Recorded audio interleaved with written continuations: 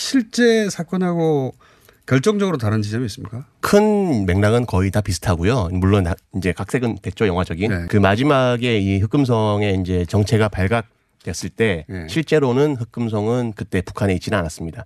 아, 북한에 만 예, 광고 촬영하러 들어가기 두 달 전인가 아마 그때 공개가 됐을 거예요. 독방이요? 예, 예. 6년이나? 1.5평 된 진짜 너무하다. 안기부가 복수한 거 아닙니까 이게? 몇 번 경고를 했다 그러더라고요. 더 이상 북한 쪽 사람하고 접촉하지 마라. 네. 예. 예, 배우들 중에 누가 본인이 생각한 어, 그 배역의 역할을 가장 잘해냈다고 생각하십니까? 일단 가장 그 감독으로서 고마운 배우는 조진웅 씨고요. 롤이 그렇게 크지 않은 롤인데 네. 어떤 이 작품의 의나 의미나 이런 이런 의미에서 이제 흔쾌히 출연을 해주신 부분에 대해서 제일 고맙고요. 잠깐 잠깐 나오는 그 안기 부장은 권영의 안기 부장이죠? 어 뭐 실제 인물은 뭐 상상에 맡기겠습니다. 예, 그때 당시 안기 부장이 누군지는 뭐 상상에 맡길 일이 아니라 네. 안기 부장이 권영의 안기 부장 아니 아닙니까? 그러니까 영화는 팩션이니까요. 이게 네. 팩트는 아니잖아요. 예. 아니 그 팩트에 근거해서 만드셨잖아요. 예. 그렇죠. 예. 뭐 찾아보시면 나오니까요. 예. 뭐 굳이 뭐 얘기 제가 얘기 안 해도. 태극기 집회 주도하셨는데 네네 뭐 활동 열심히 하시더라고요. 예.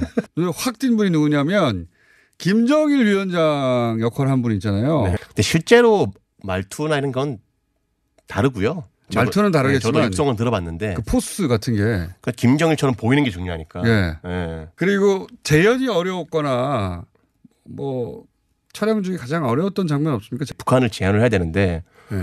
전 세계에서 유일하게 북한에 못 가는 나라가 대한민국 국적을 가진 사람이잖아요. 네. 그래서 이제 제작진이 그쪽에서 되게 뭐 애로사항이 많았고요. 굉장히 리얼. 그, 그 이제 북한도 외화벌이를 해야 되니까 네. 해외 촬영팀은 네. 돈을 받고 찍기를 해줘요. 그래서 그거를 찍어서 파는 업체들이 있어요. 아하. 외국 업체들이. 거기서 소스를 구입해서 언- 어쩐지 너무 네. 리얼하더라. 합성을 한 건데 예. 이것도 웃긴 게 저희가 의뢰를 해서 찍으라 그러면 국가원법 위반이에요. 아 그래요? 예. 이미 찍히 있는 것 중에 골라야 되는 거예요? 예, 찍은 거중 사는 건 상관없는데 예. 이렇게 이렇게 찍으라고 들여보내면 이거는 국가원법 위반이에요. 영화에 사용될 목소리 하더라도 네. 저희가 알아봤어요. 예. 진짜 웃기네요. 예. 굉장한 법입니다. 예. 주석궁은 어떻게 재현했어요? 그 세트예요, 그거는.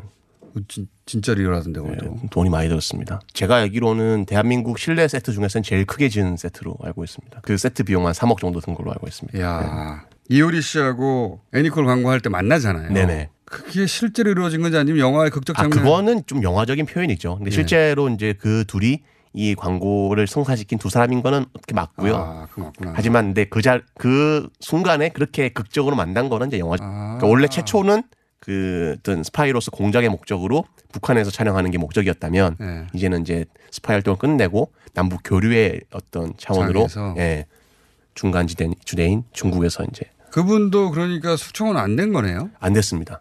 네, 뭐 조사는 받았다고 하는데 네. 사실 그 스파이를 걸러내는 거는 그 사람 role이 아니고 보위부의 역- 역할이잖아요. 그렇죠, 맞아. 보위부만 다 처형당했다고 들었습니다. 네, 확인을 못했습니다. 확인할 데가 없어가지고. 박채서 씨 어, 97년 대선 네네. 네. 이회창 김대중 붙었을 때 네. 한나라당에서 중국에서 북한 쪽을 만나서 돈 360만 불, 400만 불을 주고 네네. 국지전을 일으켜달라고 요청했다. 둘이서 네네. 막아냈다라는 식으로 설명이. 되고 있잖아요. 그래서 실제 그 당시에 이제 여당이었던 몇몇 의원들이 한나라당이었나요? 예. 네, 맞습니다. 네. 네, 찾아가서 이제 아까 말했던 것처럼 이게 북한 서해 쪽- 오도에서 이제 네. 좀 도발을 어 그래서 그 요청을 들은 그 극중 이제 북한 대외기획 처장이 예. 이 이쪽이랑 이런 이런 일이 있는데를 했고 좀 내가 하면 안 된다는 예.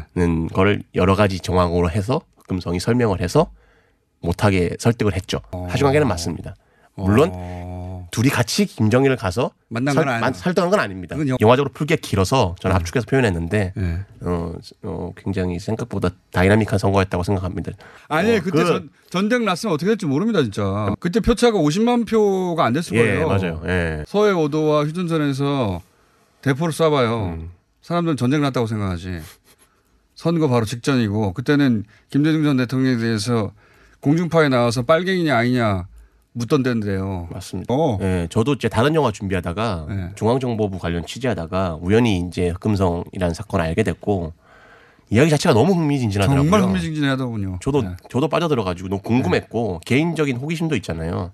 또 하나 재밌었던 거는 아 정말 그래도 국정원이 일을 하긴 하는구나 이렇게 치밀하게. 오히려 예. 그 시절에는 일을 더 잘했구나 싶어요. 예, 이렇게 치밀하게 정말 이거 영화도 다 표현을 못했는데 네. 너- 굉장히 치밀해요. 예, CIA 같았어요 처음에. 어, 좀 깜짝 놀랐습니다 저도. 음. 예, 조사를 해본 바로 대북 관- 관련 그 공작이 그 당시에 300개 정도가 있었대요. 근데 그 중에 200개가 실패한 공작, 어. 100개가 진행되고 있는 공작. 네. 근데 그 중에 10개 A급 공작 중에 하나였대요 이게. 아하. 근데 밝혀지지 않은 9개의 공작이 더 있었다는 거죠.